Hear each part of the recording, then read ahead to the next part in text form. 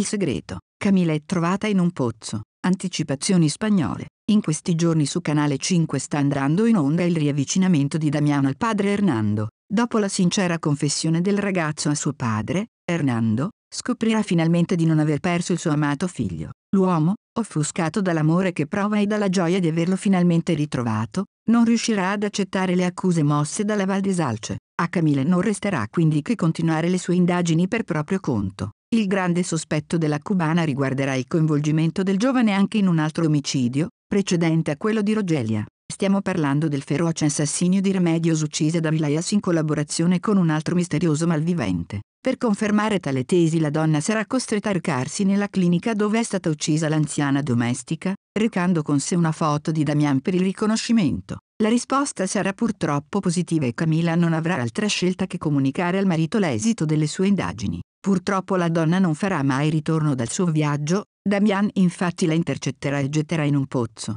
Solo il provvidenziale soccorso di Hernando riuscirà a salvare la Val di Salce da una fine certa. Sorte altrettanto fortunata però non toccherà al bambino che porta in grembo. Di fronte a questo tragico lutto, Hernando inizierà seriamente a sospettare della colpevolezza del figlio. L'uomo deciderà quindi, con l'aiuto di Nicholas, di mettere in piedi una messa in scena che permetterà di inchiodare Damian, i due fingeranno di litigare a causa delle accuse mosse dal fotografo nei confronti del ragazzo. Il vedovo Castaneda, nel confronto, dirà al Dos Quesos di avergli lasciato delle prove schiaccianti nel suo ufficio. Lo scopo è ovviamente beccare il ragazzo con le mani nel sacco. Purtroppo i timori di Hernando verranno presto confermati. Damian verrà sorpreso mentre tenta di liberarsi degli indizi sfavorevoli.